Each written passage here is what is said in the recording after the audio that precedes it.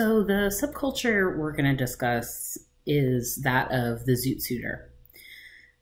So here we've got an example of a zoot suit. This is one that was assembled by the Los Angeles County Museum of Art for an exhibition about men's fashion a few years ago. And what you're probably noticing right up front is the size and scale of this zoot suit. And um, compare this, of course, when you're reading Malcolm X and his description of his zoot suit and how he talks about it. So you have these uh, voluminous trousers that get pegged or narrower towards the base and spectator shoes, those two tone shoes that you see there. You have this large jacket with big, broad shoulders, um, and that's a long jacket, longer than the typical style of men's jackets at the time, and certainly the ballooned trousers, uh, which Malcolm X calls Punjab trousers, um, relating them to Indian fashion. Um, those were not the style for the typical man in the 1940s.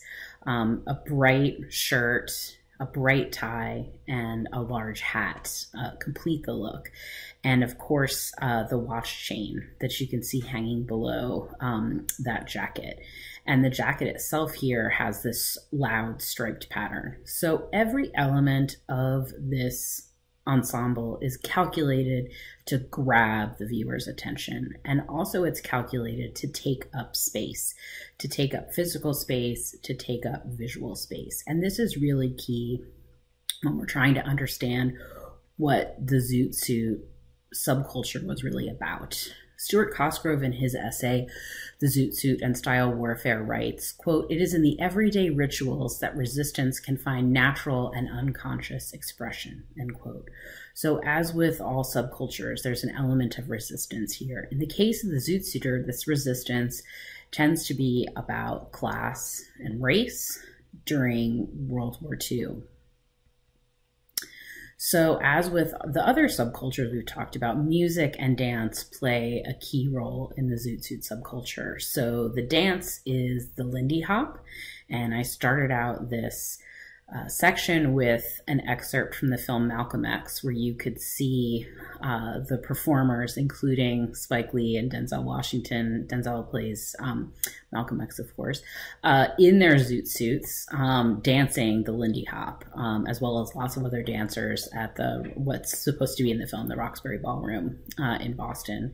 And you can see in these great photographs from the Savoy Ballroom, um, as well as in the clip, that this was an energetic and really exciting dance to watch. And you can see the way that the kind of volumes of fabric, especially in the dancer on the bottom left, um, kind of play into the way that the dance works. So the Lindy Hop was the dance that Zoot Suiters were doing. And they were doing it, of course, to big band music, jazz music, and the subculture also had its own language. Um, so here you're looking at another uh, recreated zoot suit. This one I think was recreated by the Victoria and Albert Museum uh, in the 90s.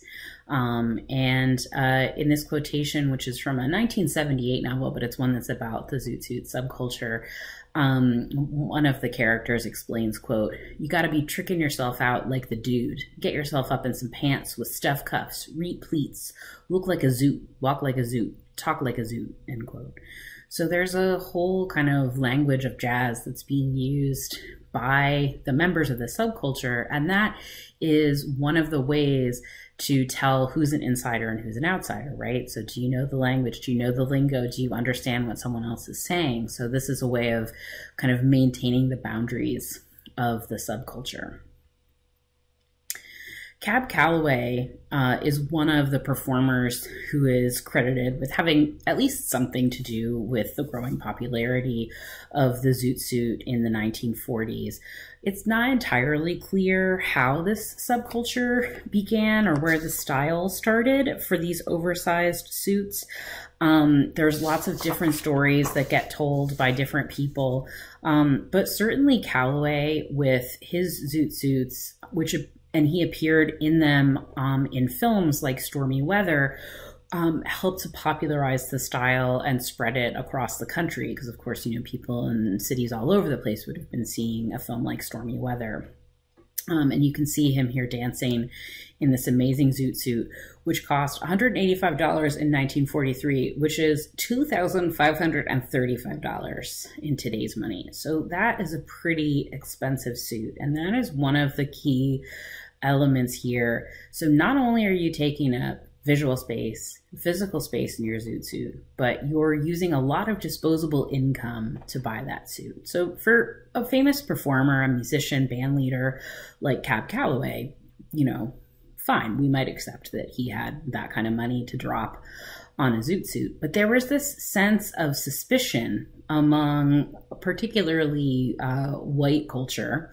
Um, and um, you know mainstream culture not part of the subculture about where the kids the young people who were wearing these zoot suits most of whom were people of color where they were getting this money to afford this style. And there was often a sense that it was ill gotten gains, that they were criminals or something. The truth of the matter was, though, that in the 1940s, many of them had war work. Many of them were working factory jobs or other kinds of jobs that had been vacated um, by older men or um, you know young women going into work the workforce as men vacated jobs and so they had disposable income to spend on fashion to spend on records to spend going out and enjoying themselves places like the roseland ballroom so in fact this was a kind of myth that developed around the zoot suit so the zoot suit was particularly associated with um, young Black, Hispanic, uh, and Filipino men.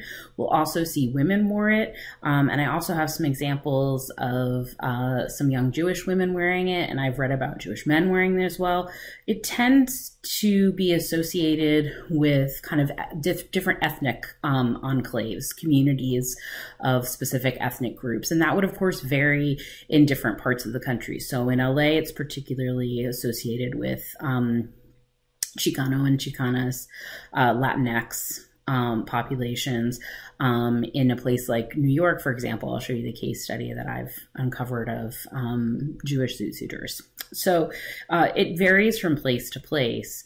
Um, and in Life in September of 1942, you can see there's a story uh, about the zoot suits, and it's not clear from the story um, if uh, the the men and women who are featured here, and it's mostly it's really mostly the men who are in zoot suits. I see a couple of women in zoot suits, but um, what what their um, their ethnic identities are. Um, it's not really a part of the story, but I think it's notable here that um, visually, at least, all of the folks featured in the story are white. So life is not featuring Latinx or uh, African American zoot suiters, for instance, um, which is really particular. And they're sort of playing this as just a teenage style.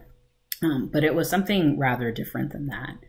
Um, so I want to so I want to show you uh, a clip from a documentary about the Zoot Suit riots that broke out in LA um, in the 1940s. And there were riots around Zoot Suits um, all over the country and cities all over the country um, during uh, the war. And I think that that clip will give you a sense of um, the Zoot Suit culture uh, among Latinx communities in LA in the 1940s, and also um, the ways in which um, that culture um, inspired violence among white young white service members uh, who were stationed uh, in LA. So let's take a look at that clip. When the Sleepy Lagoon case uh, broke, when Jose Diaz's body was found, it came at exactly the right moment for the hysteria to erupt. In the 1940s, one Mexican-American kid killing another didn't attract much interest from authorities. But in wartime Los Angeles, Jose Diaz's murder would play out differently. The police department stormed the city's Mexican-American community. Hank Leyvas was the main suspect. The arrest and trial of Leyvas and others from the 38th Street neighborhood raised fears that Mexican youth were out of control. Within months, the city would be gripped by brutal racial rioting. Mexican Americans would point to the riots of 1943 as the darkest days of their long history in the City of the Angels.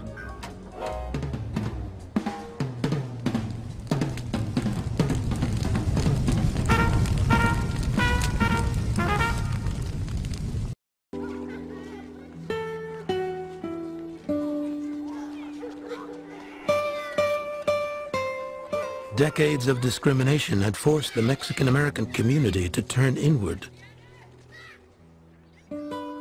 By the 1940s, LA's 250,000 Mexican-Americans lived in a series of tight-knit neighborhoods called barrios.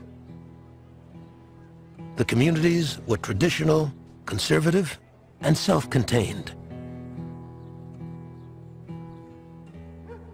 But like many Mexican Americans of his generation, Hank Leyvas refused to accept the confines of the barrio.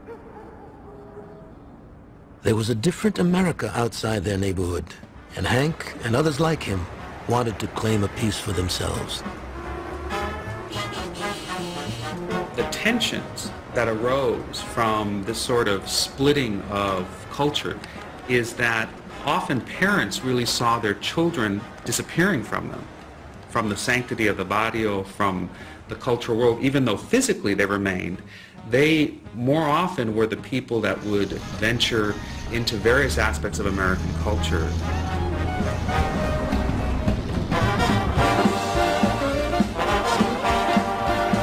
These kids spoke to each other in English, and it was an English that was punctuated by jazz phrases, cool, hip, on time, all of these kinds of things that they very clearly drew from jazz culture during this period.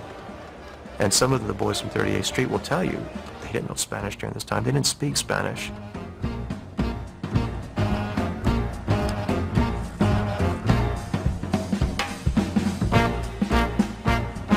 The wartime economy put money in the kids' pockets.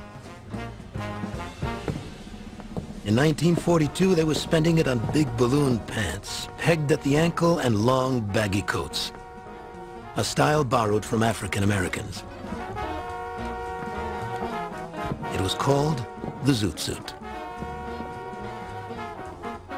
The Zoot Suit was everywhere. In the nightclubs, kids in zoot suits ruled the dance floor. Their stoic moves, the essence of LA cool.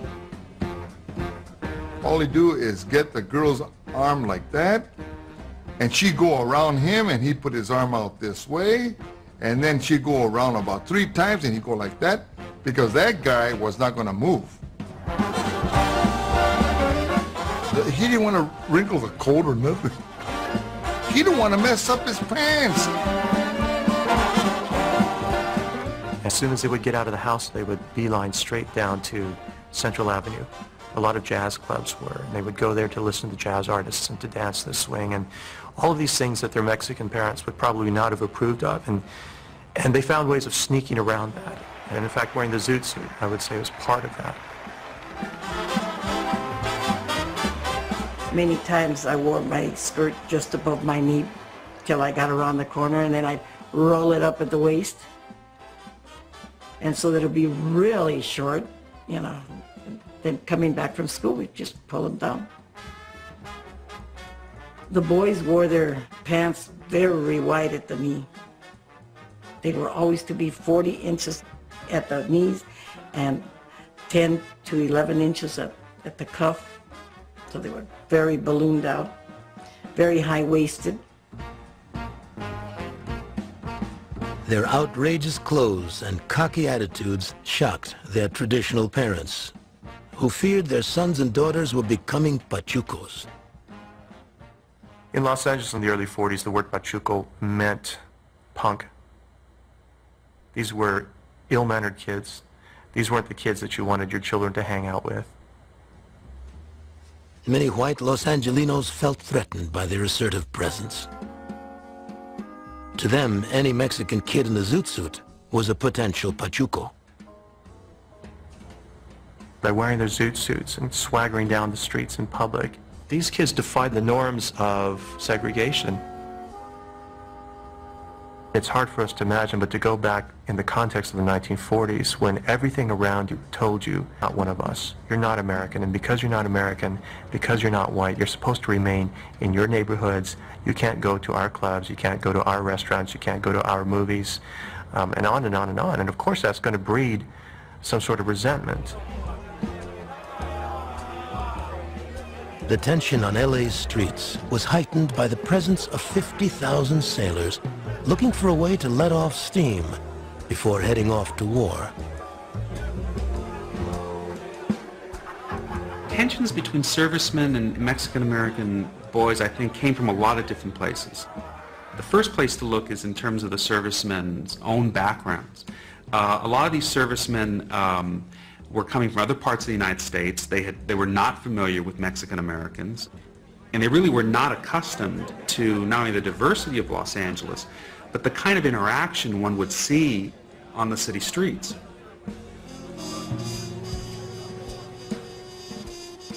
The charged atmosphere sparked frequent street battles between sailors from the Naval Armory and Mexican-American boys from the surrounding community called Chavez Ravine many of the Mexican-American kids during this period came to terms with segregation by seeing their neighborhoods as their neighborhoods. They resented the presence of whites, particularly if you can imagine white military personnel during this period pumped up uh, by boot camp, ready to go out and lick the Japs and lick the, uh, the, uh, the Nazis. The sailors making their way back from a night on the town had no alternative but to cut through a mostly Mexican-American neighborhood. Going down that canyon from the armory, Mexican kids were sitting on the side of the hill as we were walking them down the, uh, the road there. You never wanted to get caught by yourself as a sailor in, in that area by, by going through there in one single file. You're, you're asking for trouble. You're really asking for trouble. At the base, they told us to go down to the sail shop, and, and they sewed 13 pennies in the back of our neckerchief, that if any of the Pachucos came after you, you take that neckerchief off and use it as a billy club. 13 pennies give you quite a blow. And we all had that. Each fight provided an excuse for the next.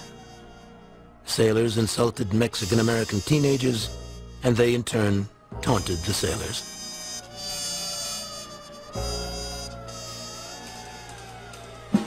The police had their own problems with LA's Mexican youth. During the war years, the LAPD felt frustrated. They were losing their best and most experienced police officers to go off into, into the Army and the Navy, into, into the service. And in addition to that, they were faced with this new phenomenon of the zoot suiters. You don't know how many times you heard they were going to take their kid gloves off and they were going to deal with the zoot suiters harshly now. So you can hopefully start to see from that clip the way that the zoot suit was this visual marker for um, white communities, uh, communities that were outside of this subculture that marked the people who were wearing it, the mostly young people of color who were wearing it, um, as being suspicious um, and also as defying the boundaries of what white society uh, expected them to respect. So they were taking up visual space. They were calling attention to themselves. They were showing up in white spaces. And this was an act of resistance against the ways in which um, they were being discriminated against. They were being segregated into these communities. And on top of that, white service members in the case of the communities in LA were starting to move into or move through the ethnic enclaves that they had been that these Latinx communities had been forced into. Um, so you can start to see the ways that tension developed and the ways that fashion became this really important symbol for um, these zoot suiters of pride, of identity, of community um, and of visibility in a world that essentially wanted them to disappear, right? So they were, you know, declaring themselves present. The other key factor here in the period of wartime, of course, is rationing. Um, so textiles were being rationed um, in this period. Uh, rationing begins in 1942. Um, and the idea there was that textiles were needed for, you know, army uniforms and things for the war effort. Um, and so people were instructed and given ration books and coupons to uh, reduce their fabric usage in the US by 26%. And rationing took place in many of the countries that were involved in World War II. But in the US, it begins in 1942. And of course, these zoot suits take up a lot of fabric, right? They take up way more than a regular suit does. Um, their length, their voluminous tailoring, all of these things. Um, and so zoot suiters were going to underground bootleg tailors to get these suits made um, because they were against rationing. So this made them another act of resistance against the idea of pitching in and doing their bit for the war effort. You know, for communities of color, there was a real sense that, you know, why are we fighting this war abroad for freedom when we don't even have freedom at home? So this was a way of resisting the kind of patriotic messages that were coming out around the war in the 1940s through through fashion and through garments. Um, you're seeing here a few women um, in zoot suits. Um, so I love this photo of Josie um, in Long on Long Beach Avenue in LA, um, and you can see um, the way that women style themselves with hair that took up space, um, really uh, bright lipstick and accessories. Um, and you can see that long zoot suit style jacket that uh, she's wearing along with a short skirt. And in the clip, of course, you heard about the girls rolling up their skirts to make them even shorter. Um, so there were many different uh, ways that women styled themselves uh, to be a part of this uh, subculture. And here you can see some other examples. Um, on the left, a Mexican American female gang uh, who uh, is being photographed uh, in a in a police station um, with uh, their large jackets and hair kind of teased up. They look like they've already been out for an evening, probably gotten into a tussle, and that's how they've ended up uh, in the police station. So their hair looks a bit the worse um, for wear there. This is a really beautiful example from the Museum of Fine Arts in Boston from a show that they did, um, think a year ago, uh, that was looking at uh, gender bending in fashion. And this is a suit, uh, constructed suit for a Pachuca, and they based it on this uh, photograph of a woman named Ramona uh, Fonesca um, in her zoot suit from 1944. And here you can see that Ramona has very much styled herself in kind of the classic um, sort of Cab Calloway style of zoot suit, big collar, long jacket um, the little spectator shoes she's got, and then this fabulous hairstyle that kind of replaces the hat and allows her to take up that that visual space and fantastic. What I imagine is probably bright red lipstick. So, women were very much a part of this subculture and found lots of different ways to style themselves, whether it was a more kind of masculine look or a more feminized version of the zoot suit. And here's just another couple of photographs to give you some examples. So, this is the example of young women in um, Brooklyn at Abraham Lincoln High School. Um, this is a really interesting story that kind of combines uh, the stories of fashion during the war um, as well as the rules around fashion and gender um, for young people in the US. So, Beverly Bernstein, uh, who is not in this photograph, this is a photograph after uh, of students protesting around an incident involving Bernstein. She was 16 years old and showed up to school in blue gabardine slacks and a lipstick red sweater and she was sent to the office of the dean for girls at her school and sent home to change because she was wearing trousers. And she ended up changing and came back. But many students at the school were outraged. And they drew up a petition uh, and collected 500 signatures in a few hours. And a number of other young women at the school, those you can see pictured in this photograph, showed up protesting um, the punishment of Bernstein by wearing their own trousers. And if you look at the style, they're very clearly styling themselves in this zoot suit, right? They're um, the voluminous trousers, they're pegging them in, they're making them narrow at the bottom. You've got a couple of young women who have watch chains there. They've got the big hair, they have the bright lipstick. So they're clearly participating in this zoot suit subculture. Um, and this was a high school that was in um, an immigrant in a Jewish neighborhood. Um, and if you look at the names, some of these women, um, it's pretty clear at least some of them are Jewish. So it's a really interesting example of um, a group of women who are participating in this subculture and who are then protesting at their school for not being allowed to wear the clothes they want. So the protest um, resulted in this petition. And this is what the petition said.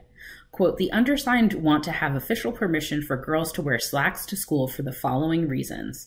A. The United States government advocates slacks for school because they are better than skirts in the event of an air raid. B. They conserve silk stockings. C. They curb sexy clothes such as short skirts. Note, boys also want the girls to wear slacks and are signing this petition in hope that it will be allowed. End quote. So you can see they're using both modesty as well as patriotism, right? They're doing the right things for the war as a way of convincing their school to let them wear these subcultural styles. So it's a really, really interesting story. Um, by March 27th, uh, the dean uh, of schools. So the, the original story happens March 16th. Uh, by March 27th, so about 10, 11 days later, 1942, the Brooklyn Eagle reported that the school principal begrudgingly allowed women to wear slacks. He didn't change the rule, but he said he would ignore the rule. Um, and it's a really interesting story because Beverly Bernstein actually ran away from home because she was so afraid of what her father would think about the incident. So it tells you a bit about the kind of generational, you know, tensions that exist here. Um, there are many other stories in this period of high school girls trying to uh, wear pants. So, for instance, there was a school in Pittsburgh where uh, young uh, men and women both uh, struck to protest women not being able to wear trousers to school. Um, and the Board of Education eventually changed the rules. So, this is a really interesting moment in which we see young women um, actually participating in activism to change what they're allowed to wear. And we're going to see some more of this when we talk about um, style on campuses. So, so stay tuned for some more of this.